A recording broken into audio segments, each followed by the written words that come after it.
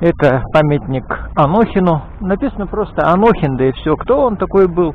А он был какой-то деятель а, э, большевистский, или даже не большевистский, а, в общем, Дальневосточной республики. Видите, даже я уже забыл. А, я знаю, что его убили а, бандиты а, из банды Ленкова.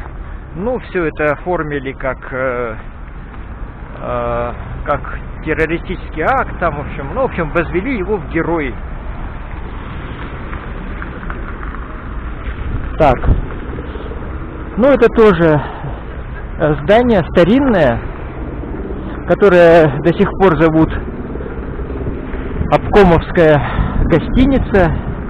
Здесь вот э, Семен Бойков, атаман из Австралии, останавливался.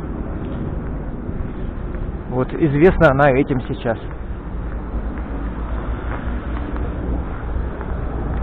А я иду сейчас, знаете куда? Ну вот с обратной стороны это гостиница Селект.